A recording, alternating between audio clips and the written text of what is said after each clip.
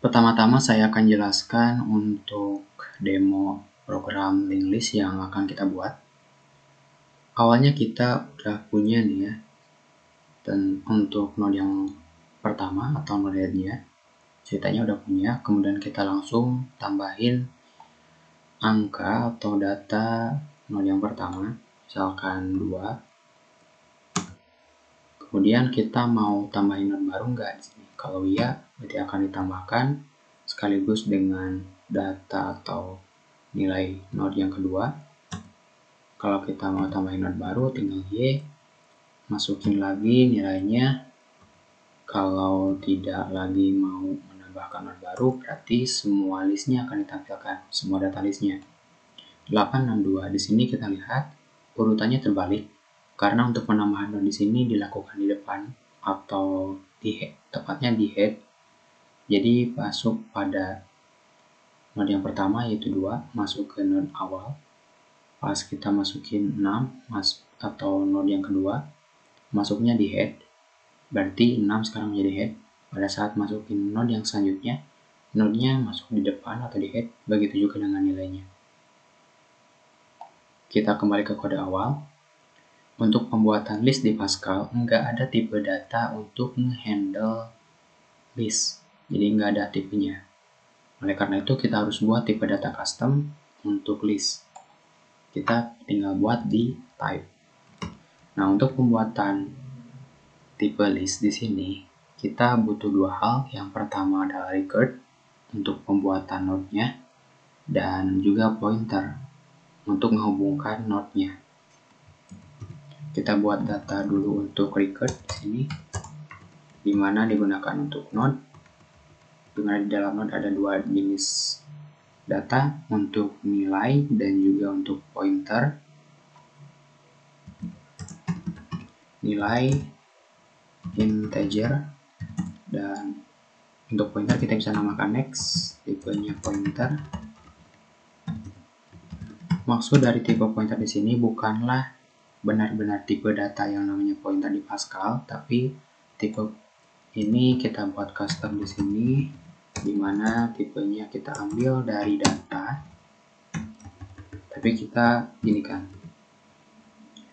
Terus kita buat listnya di sini variable list pointer yang di sini tipenya itu. Untuk menggunakan list, kita buat new-nya dulu, new list. Kemudian kita isikan list awalnya atau node awalnya masih nil dulu di sini.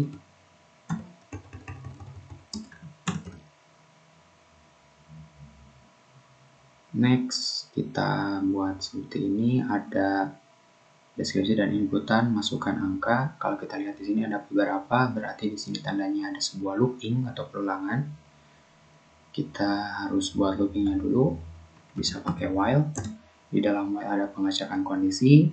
Kalau kita lihat di sini pengecekan kondisinya untuk karakter y atau karakter t.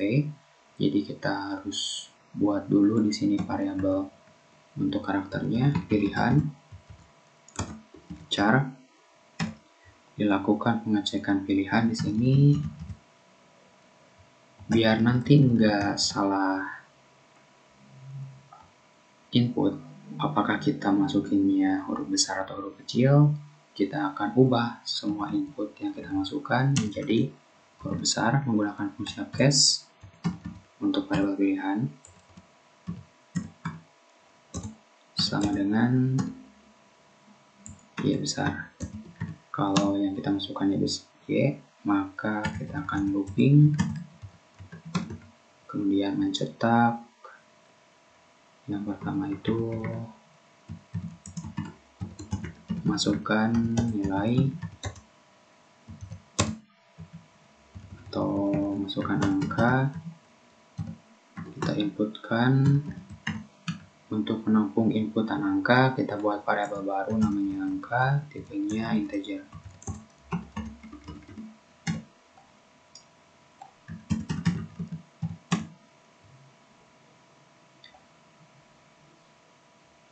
kalau kita mau ngisi nilai dari angka ini ke dalam list kita buat lagi list. Kemudian list dot list pakai kayak gini terus dot nilai angka. List dot next. Kayak gini ini nilainya masih nol dulu. Terus kita ambil input lagi untuk tambah non baru.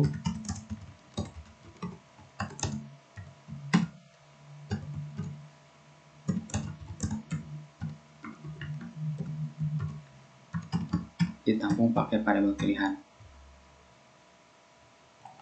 Kalau kita inputkan Y maka akan di looping, kalau tidak maka loopingnya akan berhenti. Kemudian akan mencetak data link listnya.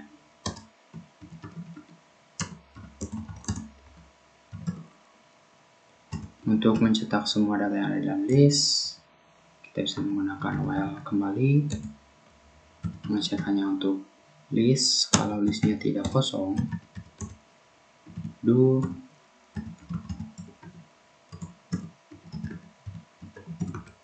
akan mencetak datanya yaitu list dot nilai. Kita pisahkan pakai koma biar lebih rapi nanti untuk setiap data. Kemudian di, di sini kita akan ambil untuk node selanjutnya. Kemudian ditampilkan kembali datanya. List dot next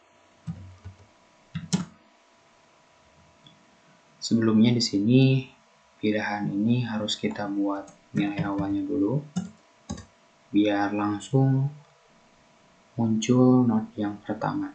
Pilihan inisialisasi Y. Run.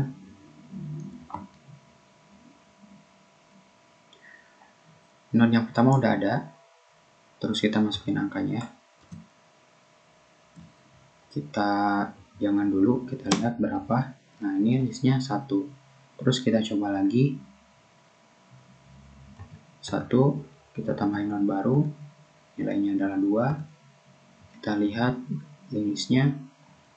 Nilainya cuman yang ada dua aja. Satunya ke mana? Satunya di replace di sini. Karena di sini kita membuat untuk inisiasi nilainya untuk listnya itu hanya satu not nah untuk pembuatan selanjutnya. Jadi kita harus buat berulang kali. Kita bisa bungkus kode ini itu di dalam sebuah prosedur. Jadi kita buat prosedur dulu di sini. Namanya misalkan buat node kita butuh dua data di sini untuk list dan juga untuk angka. Angka ini akan dimasukkan ke node selanjutnya. Kemudian di atas setelah variabel di sini kita buat prosedur. Namanya buat node. Ada dua parameter. Untuk list kita buat namanya param list. Pointer. Kok titik koma. Untuk angka kita buat namanya param angka. Tipenya integer kita buat variabel lokal untuk node baru. Tipenya pointer. Kemudian buat begin end. Kita buat new untuk node baru. Dan kita isi nilai dari node baru ini. Untuk nilainya diambil dari param angka sedangkan untuk nextnya kita buat kosong dulu. Kemudian kita akan ngecek di sini untuk yang param list jika param listnya ini sama dengan kosong nil maka si param list ini kita akan isi nilainya dengan not baru. Proses yang ada di dalam ini adalah proses pembuatan node yang pertama. Kalau di sininya tidak kosong atau istilahnya node pertamanya sudah ada, maka akan masuk ke else. Di else kita akan buat node selanjutnya. Node baru dot next kita akan isi dengan param list. Kode ini digunakan untuk menambahkan node baru di depan atau tepat di head. Terus kita akan perbarui bentuk listnya ini, kita isi dengan node baru. Oke, untuk prosedur segini. Sekarang kita coba lagi kelihatannya ada yang error di baris 20 sama 61